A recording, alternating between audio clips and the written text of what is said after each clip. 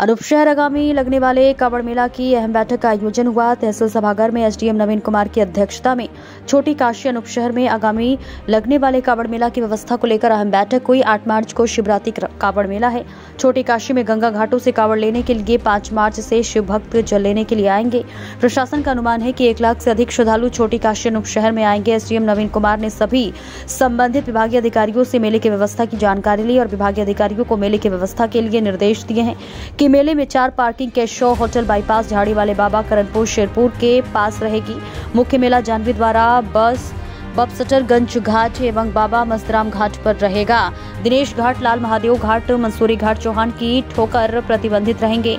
और दुकानों के बीच काफ़ी स्पेस रहेगा। रोड के बीच कोई दुकान नहीं लगेगी। नगर पालिका परिषद के द्वारा गंगा घाट पर मजबूती बैरिकेटिंग रहेगी। पेयजल आपूर्ति, महिला वस्त्र चेंजिंग रूम साफ़ सफ़ाई लाउड स्पीकर खोया पाया कैंप रहेगा। पूरा कावड़ मेला सीसीटीवी कैमरे में कैद रहेगा।